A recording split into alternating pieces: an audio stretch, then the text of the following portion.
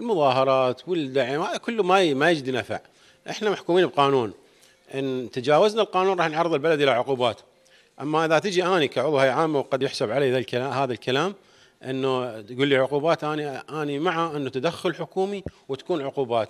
خلينا نروح عقوبات في عشر سنوات نعيد نشاطنا من الداخل من جديد. أما إذا نبقى خايفين من العقوبات وهذا حالنا بكل الرياضات أمر معيب أصبح بالنسبة للعراق. تتعاقب أفضل من من أصبحت الرياضة عبارة عن نتائج سلبية وقدية وأشكال ألوان. دا نشوف سمعة العراق أصبحت في الحضيض وهذا يحز على أنفسنا كناس عراقيين.